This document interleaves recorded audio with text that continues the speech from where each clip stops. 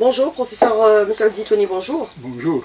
Alors, ce mois d'octobre, le mois rose, le plan anti-cancer 2015-2019 entre dans la phase de mise en œuvre. Il s'est fixé plusieurs objectifs, mais déjà, pouvons-nous considérer que cette étape d'étape cruciale pour son succès et sa réalisation concrète sur le terrain, professeur Zitouni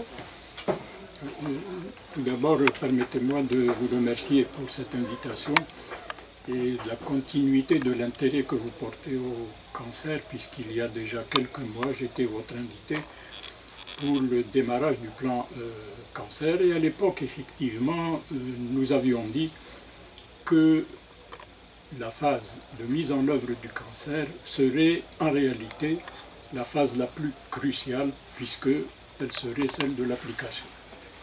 Actuellement, d'une manière globale et générale, on peut dire que cette phase est en très bonne voie, en ce sens que, euh, vu euh, l'engagement euh, important et surtout continu et pérenne des plus hautes autorités de l'État, et notamment de son Excellence Monsieur le Président de la République pour l'intérêt qu'il porte à la lutte contre le cancer, a fait que, après le plan cancer, il y a eu son adoption officielle par le euh, Conseil des ministres du 24 mai 2015 sous la présidence euh, de Monsieur le Président de la République.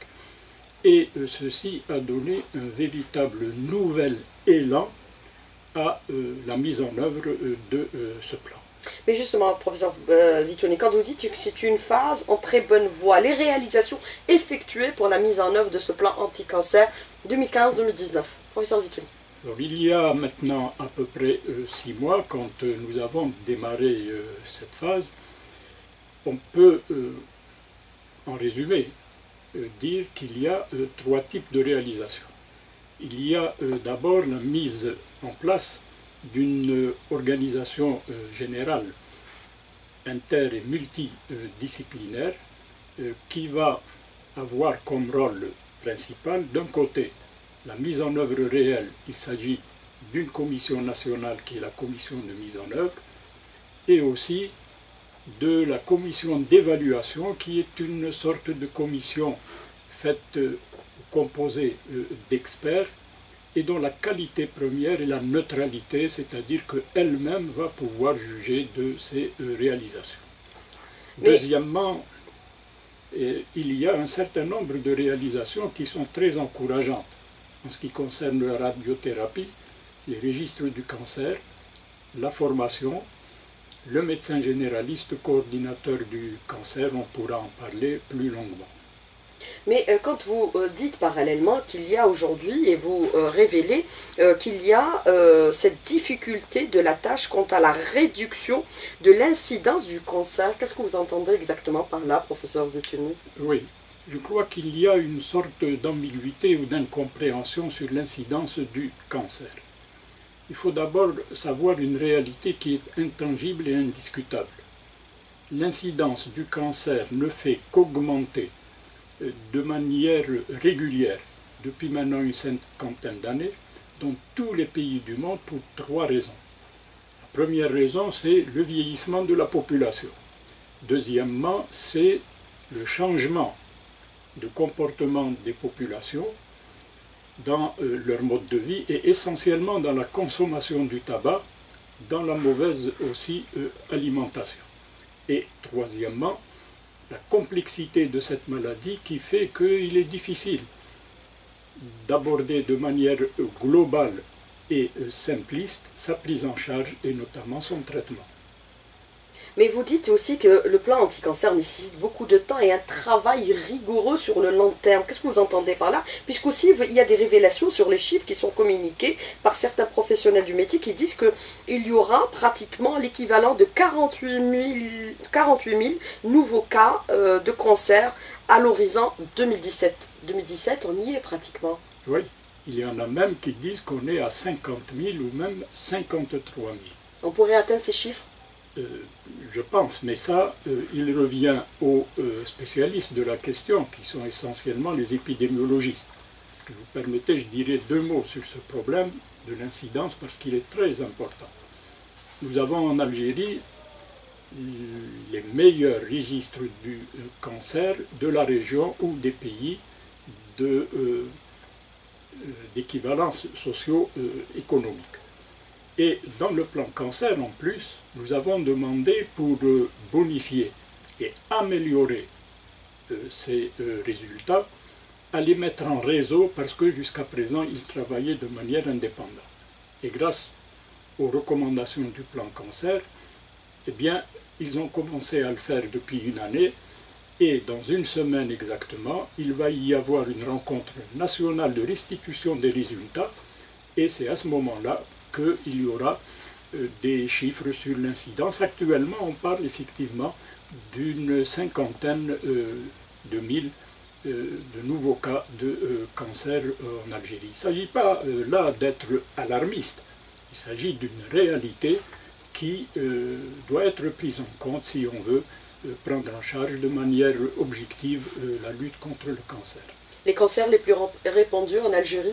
Les cancers les plus répandus en Algérie, c'est une question très intéressante parce qu'il y a une vingtaine d'années, les cancers les plus répandus correspondaient d'une manière ou d'une autre à ceux des pays dits en développement. Il se trouve qu'aujourd'hui, depuis 5 ans à peu près, les quatre premiers cancers les plus fréquents en Algérie, ou les plus prévalents, comme on dit, sont exactement les mêmes que ceux qu'on retrouve dans les pays développés, à savoir le cancer du sein, surtout chez la femme, cancer de la prostate, surtout chez l'homme, et puis le cancer du poumon et le cancer du colorectum.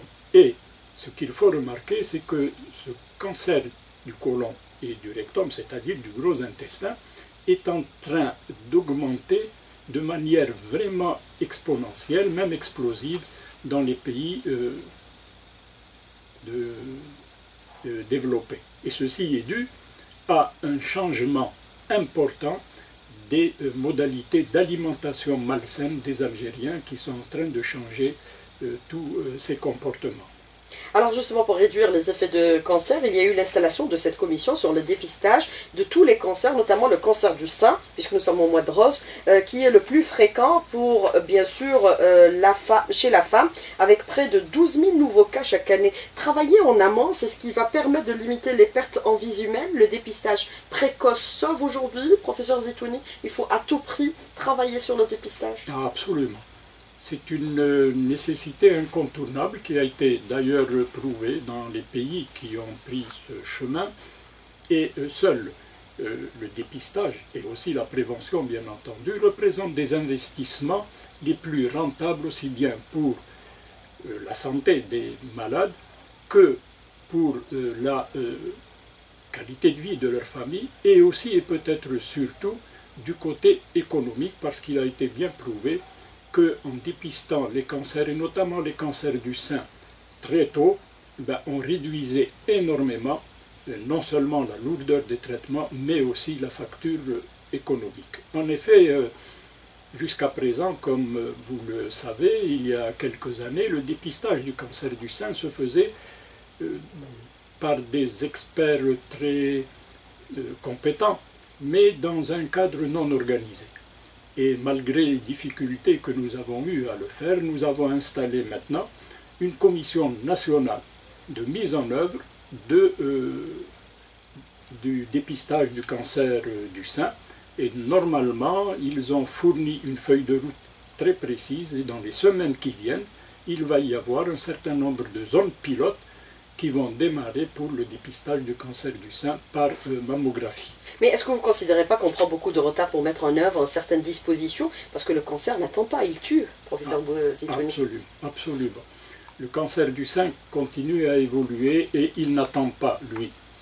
Et euh, jusqu'à présent, les méthodes de travail étaient un peu inefficaces parce que justement, elles n'étaient pas inscrites dans un, dans un ordre organisé ou programmé. Or, grâce à l'institution de ce plan cancer et de son applicabilité qui est suivie par les plus hautes autorités de l'État, je pense qu'il y a un phénomène important qui vient de se passer, c'est un changement de mentalité chez les professionnels de santé depuis maintenant deux ans, euh, trois ans, qui commencent à travailler sur le terrain de manière très très engagée et euh, je pense que les résultats, on va les voir. Mais vous parlez de coût de la facture économique. Est-ce qu'on peut avoir des estimations, professeur Zetouni Eh bien, vous savez que dans les différents axes stratégiques du plan euh, cancer, euh, le budget a été estimé à environ 200 milliards de dinars, c'est-à-dire à peu près 40-50 milliards par année. Et cette facture, elle risque encore d'augmenter, et c'est pour ça que l'État a ajouté qu'on appelle un fonds spécial de lutte contre le euh, cancer.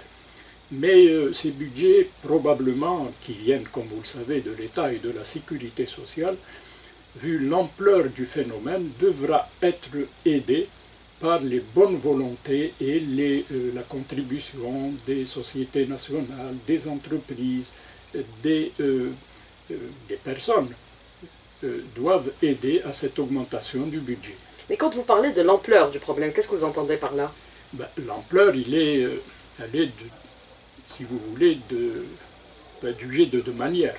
Les chiffres, qui, comme je l'ai dit tout à l'heure, n'arrêtent pas d'augmenter de manière régulière. Ils sont alarmants? Ils ne sont pas alarmants, mais il ne faut pas les prendre à la légère. Il faut donc les considérer comme ils sont. Et après cette ampleur des chiffres, la complexité du euh, cancer parce que, comme vous le savez, le euh, cancer, quand euh, on le diagnostique à un stade avancé, il entraîne énormément de dépenses pour le diagnostic et le traitement. Pour la radiothérapie, plus de problèmes, on est loin, bien loin de la crise de 2011, professeur Zitouni bah, Bien sûr, on est loin de la crise de 2011. Vous vous rappelez les polémiques qu'il y a eu à ce moment-là.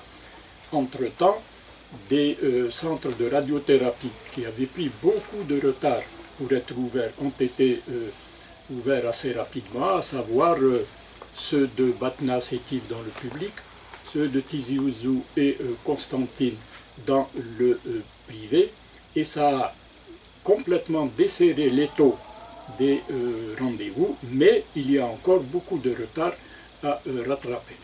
Alors, euh, professeur M. Zitouni, moi je voudrais revenir un peu sur la question un peu de la crise de 2011. Vous dites qu'on en est bien loin pour la radiothérapie, mais beaucoup reste à faire. Que reste-t-il à faire aujourd'hui? Vous savez qu'il avait été programmé 20 euh, centres anticancéreux supplémentaires. Et euh, jusqu'à l'heure actuelle, ils n'ont pas été ouverts parce que dans la théorie, l'immense majorité parmi eux aurait dû ouvrir à l'horizon 2018. En tout cas, en 2016, on aurait déjà dû ouvrir cinq centres anticancéreux, euh, dont euh, ceux de Sidi Abbas, de Tlemcen, euh, d'Oran, d'Adrar, de Bchar, et ils n'ont pas encore été ouverts. Donc, il est absolument nécessaire. Ce retard va avoir des conséquences sur la, prise en charge des malades Indubitablement, parce que pour qu'il y ait une prise en charge efficace euh, par la radiothérapie, il y a maintenant des critères internationaux du nombre de machines ou d'accélérateurs par rapport aux malades et on en est encore euh, euh, un peu loin. la question que je voudrais soulever justement, c'est celle de l'installation des euh, services de euh, radiothérapie. Jusqu'à présent, l'Algérie a pris une bonne option qui est celle des centres anticancéreux intégrés, comme nous les connaissons, c'est-à-dire essentiellement le CPMC, euh, Oran, euh, Batna Sétif. Or, ces centres anticancéreux, ils sont multidisciplinaires, c'est-à-dire qu'ils contiennent tout le panel de diagnostic et de traitement du cancer, plus la radiothérapie. Or, en Algérie, tout le monde sait que le vrai problème concerne seulement la radiothérapie, ou presque exclusivement la radiothérapie. Donc, euh, depuis 2013, nous plaidons, enfin les experts de la question plaident pour l'installation de services de radiothérapie dans les grands CHU ou les grands hôpitaux ou les autres services médicaux, chirurgicaux, de radiologie, de biologie existent déjà, et donc il sera plus facile et plus rapide et plus rentable d'installer des services de radiothérapie plutôt que des centres anticancéreux intégrés multidisciplinaires qui sont très très lourds à réaliser et à euh, gérer. Il faudrait revoir un peu ce qu'on est en train de faire actuellement Ben, c'est ou exactement, l'améliorer. C'est ce que vous êtes en train de dire exactement c'est ce que nous avons proposé et ce qu'est en train euh, d'analyser et de finaliser une commission euh, spéciale dédiée à la radiothérapie dans le cadre de la mise en œuvre et qui est euh, composée d'experts du plus haut niveau qu'on connaisse en, en Algérie. Par exemple, à, à l'étranger maintenant, dans les grands centres hospitalo-universitaires, on arrive à installer euh, même plusieurs euh, services de radiothérapie ou plusieurs euh, appareils. Il y a des endroits où on en a placé jusqu'à 5 et 6 pour résorber justement cette crise qui n'est pas propre à l'Algérie. On peut considérer que les rendez-vous sont encore étalés sur les 6 mois, 8 mois, Les chiffres, un peu moins. les chiffres exacts, euh, je ne peux pas vous les dire, euh, le dire. Non, probablement beaucoup moins que 6 mois ou 8 mois. Mais il n'y a pas que le, le- la longueur du rendez-vous. Il y a aussi le parcours du malade qui est un parcours euh, qui est difficile. Euh, on a parlé de, de parcours du combattant où les malades doivent se déplacer, etc. Et cela aussi, au point de vue humain, a une importance euh, très euh, cruciale. Mais certains considèrent, par rapport à ce que vous déclarez à l'instant, professeur Sitouni, vous parlez de l'installation des services de radiothérapie pour euh, les accélérateurs, mais certains disent que ce n'est pas le problème euh, des accélérateurs qui est en soi une difficulté, mais c'est leur entretien sur le long terme. Absolument, absolument. C'est-à-dire que vous savez que la technologie, pannes, voilà, la technologie est une technologie hautement euh, sophistiquée et euh, qu'il y a euh, deux éléments importants, c'est celui de l'installation, et il y a beaucoup d'appareils qui ont été installés aussi bien ailleurs que dans, en Algérie avec des défauts, et deuxièmement, il faut qu'il y ait une maintenance irréprochable, parce que en plus du fait des pannes qui augmentent les rendez-vous, il y a aussi les problèmes de sécurité pour les malades, absolument. Mais euh, il y a autre difficulté aussi parallèlement à ça, c'est-à-dire avec euh, l'augmentation du nombre de malades euh, que nous allons connaître pour les prochaines années, la formation au niveau, par exemple, de la médecine par rapport à la prise en charge du cancer n'a pas suivi. Par exemple, des radiothérapeutes, on n'en a pas en grande quantité. Ils sont très sollicités, mais ils sont euh, pas très nombreux du Là, vous posez une question très pertinente. Parmi les groupes de travail et les commissions que j'ai installées récemment, une quinzaine à peu près, euh, nous avons installé une commission dédiée spécialement à la réforme euh, de l'enseignement de la cancérologie dans nos facultés de médecine et en premier lieu, non seulement des radiothérapeutes, mais aussi et peut-être surtout des radiophysiciens dont on ne parle pas assez et qui sont la cheville ouvrière de la radiothérapie, aussi bien dans la qualité du traitement que justement dans le euh, maintien en bon état et de la sécurité des malades euh, dans le- la radiothérapie. Alors on est en train de prendre en charge tous ces aspects-là? Absolument. On n'est pas en train de, de faire dans les lenteurs, selon vous, objectivement, professeur Zitouni Il y, a, il y a un certain nombre de lenteurs qui sont, euh, comme vous le dites, euh, indiscutables et qui sont dues essentiellement à des lourdeurs bureaucratiques qui, euh, je, ne dirais, je ne dirais pas que c'est le propre de notre euh, gestion, mais auquel euh, on s'est habitué et qu'il faut absolument euh, secouer. D'ailleurs, Son Excellence, Monsieur le Président de la République, dans ses messages, a souvent soulevé ce problème des lourdeurs bureaucratiques qui freinent un peu l'enthousiasme et l'engagement des personnels sur le terrain et qui, dans un certain nombre de cas, effectivement, se plaignent beaucoup de euh, ces lourdeurs bureaucratiques. Alors euh, aujourd'hui, vous avez été mandaté par le chef de l'État pour mettre en place bien sûr ce plan anti-cancer de 2015-2019 qui entre en vigueur. Il est dans sa phase première, il va aborder plusieurs étapes par le passé. Mais si on est arrivé à mettre en place euh, une commission sous l'autorité du chef de l'État pour mettre en place euh, ce plan, est-ce que nous étions dans une situation dramatique et nous le sommes encore? Euh, non. par je- rapport aux malades? Et leur prise en charge Je ne pense pas qu'on soit dans une situation dramatique parce que euh, dans beaucoup de pays euh, du monde, euh, la lutte contre le cancer est toujours placé sous l'autorité du chef de l'État, à savoir le plan cancer, presque dans tous les pays euh, du monde. Euh, la chance que nous avons, c'est qu'en plus de la pérennité de cet engagement politique qui ne se dément pas jusqu'à aujourd'hui, il faut aussi souligner l'engagement des personnels de santé et il y a eu rarement dans l'histoire de notre système de santé un programme ou un plan qui ait euh, reçu euh, l'engagement sans faille des personnels de santé dans tout le pays. Moi, j'ai suivi ce plan depuis maintenant bientôt 4 euh, ans et je peux vous assurer qu'il y a une énorme différence car actuellement, il n'y a pas un endroit du pays où on ne parle pas du plan cancer, où on n'essaye pas de l'appliquer, et donc la situation est en train petit à petit de se normaliser pour permettre justement à ces personnels de santé qui sont très engagés à avoir de meilleurs résultats. Il ne faut pas oublier euh, que ce plan cancer a mobilisé les meilleurs experts de l'Algérie sur les tous les plans, aussi bien de la santé que de l'économie de santé.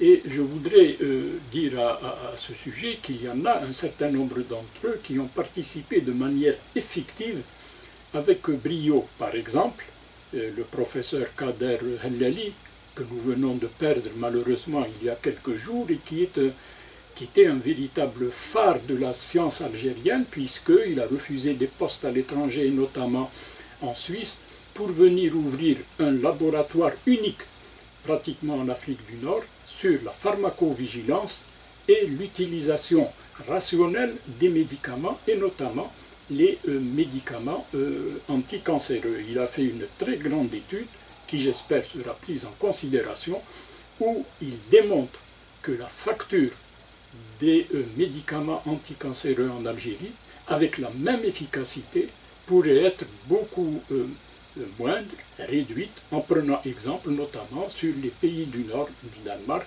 la Belgique, l'Inde et euh, Cuba. Et vraiment, je voudrais ce matin, si vous le permettez, lui rendre un hommage vraiment euh, solennel, parce que c'est une véritable étoile qui a disparu du ciel du euh, plan cancer. Mais justement, par rapport à cette facture de médicaments, est-ce qu'on peut avoir des estimations par rapport à ce que nous dépensons? Et ce qu'on pourrait économiser aujourd'hui? Actuellement, les chiffres exacts, il faut les avoir au niveau de la PCH ou du ministère de la Santé. Euh, ce qui est important à signaler, c'est que en une dizaine d'années, il y a eu une véritable euh, révolution, bouleversement de euh, l'enveloppe des médicaments dans les hôpitaux. Alors qu'il y a une quinzaine d'années, les anticancéreux ne coûtaient que 10 à 15 de euh, la facture des médicaments dans les hôpitaux, eh ben, actuellement c'est plus de 80%. Ce qui fait que Vous avez des indicateurs par rapport à ce que vous déclarez? Eh ben Oui, c'est euh, les, euh, les, budgets des pharmacies, des hôpitaux. Et c'est dû au fait qu'à un moment donné, l'incidence du cancer a augmenté de telle manière que les commandes des anticancéreux ont dépassé les commandes des autres médicaments. Et à ce sujet, je voudrais euh, préciser que la collaboration avec la sécurité sociale pour un certain nombre de remboursements est absolument euh, nécessaire. Mais euh, justement, pour aborder cette question de la sécurité sociale que nous allons entamer dans un petit moment, moi je voudrais revenir avec vous aujourd'hui. Nous travaillons sur le plan anti-cancer, on le met en œuvre, on débloque des budgets colossaux pour sa réalisation, on réalise les centres anti-cancer, même si certains connaissent un peu du retard à travers le territoire national. On, met en place, on achète les, accélérateurs, mais euh, on, met aussi une politique de dépistage en place pour notamment le cancer du sein, mais on ne travaille pas sur les effets et les causes un peu du cancer, par exemple, la lutte contre le tabagisme. On est beaucoup en retard dans ce domaine-là. Professeur Zitouni, on en a beaucoup parlé. On a une loi qui n'est appliquée par personne. Vous, vous, m'évitez de le dire, merci. La, la politique de prévention euh, contre le tabac, du point de vue purement institutionnel, a été euh, sans faille en Algérie. Parce que nous avons, l'Algérie a adopté absolument tous les textes internationaux Mais malheureusement, quand on arrive sur le terrain de l'application, il y a encore beaucoup de retard. Mais il y a des euh, facteurs d'espoir. Euh, le premier, c'est que, contrairement à ce qui se disait avant, le plan cancer a ciblé la lutte contre le cancer en disant il est inutile de vouloir faire arrêter tout le monde de fumer. Pour être simple, il faut surtout avoir le choix d'empêcher les jeunes de commencer ou de continuer à fumer. Mais les chiffres révélés hier, ils sont alarmants. Les chiffres sont alarmants et c'est pour cela que nous avons, dans le cadre d'une commission spéciale, euh, entamé une collaboration avec le ministère de l'Éducation nationale qui, je dois le dire, joue le jeu à fond pour mettre en place premièrement un cours spécial pour les euh, élèves pour les sensibiliser à la lutte contre le tabac, avec aussi des euh, opérations euh, ponctuelles qui seront évaluées justement par l'équipe du plan cancer. Mais vous avez raison d'insister sur le problème du tabac. Le deuxième élément avec cela... Mais est-ce qu'il ne faudrait pas d'abord prendre le taureau par les cornes, interdire de fumer dans les lieux publics? La loi existe, mais elle n'est pas respectée. La loi existe mais elle n'est pas euh, respectée. Mais il faut faire attention, parce que les mesures autoritaires euh, ne sont pas très bien appliquées, même dans les pays qui se prétendent plus euh, efficaces. Il faut donc faire appel à Ils les respectent. Oui, mais enfin, en France, ils ne sont pas tellement respectés. Les pays qui sont les plus en avant, c'est les pays anglo-saxons, et notamment l'Australie, qui a maintenant qui est arrivé à 15% de fumeurs, alors que les Français, ils sont toujours à plus de 20%. Euh, ce qu'il faudrait... Euh, Nous, on est bien loin. Euh, oui, on n'a même pas des chiffres exacts. Mais il faut absolument que ce problème du tabac soit pris, comme vous l'avez si bien dit, par les cornes. L'autre élément, c'est celui des prix. Effectivement, on ne peut pas continuer à augmenter les prix de manière exponentielle. Mais il est évident que euh, les euh, spécialistes de la matière ont démontré que les gens qui veulent arrêter de fumer, pour qu'ils arrêtent de fumer, il leur faut un élément déclenchant. Et beaucoup de spécialistes disent que le meilleur élément déclenchant, c'est bien entendu de les taper à la poche, comme on dit. Et ça marche bien, généralement. Alors, par rapport au remboursement, et cette question qu'on a soulevée tout à l'heure à peu près, pour, euh, vous dites que euh, pour le privé ou pour le public, il y a certains médicaments, la sécurité sociale euh, devrait un peu jouer le jeu, notamment pour les médicaments, ce qu'on appelle en fin de vie, qui devraient être vendus normalement au niveau des officiers pour ce qu'on appelle le traitement morphinique. Et là, les gens peinent à les trouver. Absolument. je dois d'abord dire que, aussi bien pendant la rédaction du plan euh, cancer que dans la phase actuelle de mise en œuvre, le secteur de la sécurité sociale a joué le jeu à 100% et a participé à toutes les phases de euh, cette euh, mise en œuvre. Ce qui manque, c'est qu'il faut mettre en place au niveau des hôpitaux qu'on appelle, et qu'on a euh, cité depuis déjà en réalité plus d'une quinzaine d'années, la contractualisation. Parce que ce qu'il faut savoir, c'est que jusqu'à présent, ben, nous n'avons pas de comptes nationaux de la santé. Nous ne savons pas ce qui est dépensé pour euh, les malades et le remboursement par la sécurité euh, sociale se trouve un peu en difficulté. Et donc, le secteur de la sécurité sociale, ce qu'il propose, c'est une coordination beaucoup plus étroite pour justement arriver à cette euh, contractualisation. Impliquer également le privé, impérativement Impliquer le privé. Euh, je viens d'installer une commission spéciale, partenariat public-privé, parce qu'il est démontré maintenant, et on l'a dit hier au Congrès, que 70% de certains examens et de même de certains traitements se font dans le privé. Or, actuellement, le privé n'est pas euh, pris en compte à sa juste valeur et il faut que les conclusions de cette commission soient prises en considération. Vous êtes optimiste, professeur Zitouni? Ah oui, absolument, sinon je ne serais pas là à 8 heures du matin.